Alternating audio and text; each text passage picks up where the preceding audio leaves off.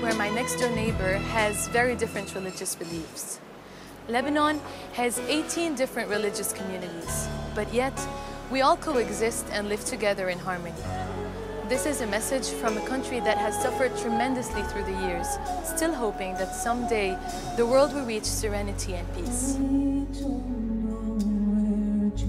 As a singer, my way of delivering this message is through music, the only universal language that unites all of us.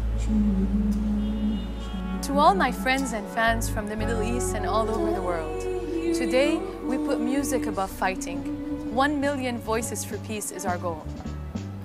I'll be performing with Andy, a great Persian singer and a very good friend. So join me and various incredible artists from all over the globe, accompanied by the award-winning Metropole Orchestra at the Ziggo Dome of Amsterdam on September 21st.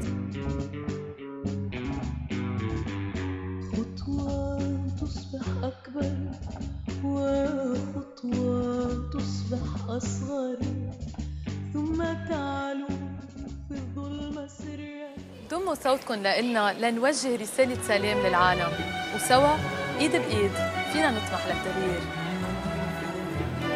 Un message de paix, un message d'amour, un monde sans frontières, un monde sans conflit.